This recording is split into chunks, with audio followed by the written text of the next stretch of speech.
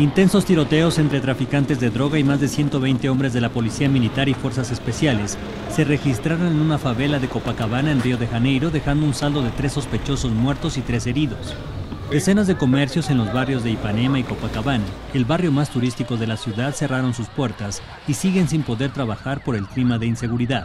El secretario de Seguridad del Estado de Río, José Mariano Beltrame, anunció que presentará su dimisión a final de mes, poniendo fin a una etapa de casi 10 años en la que logró reducir la violencia.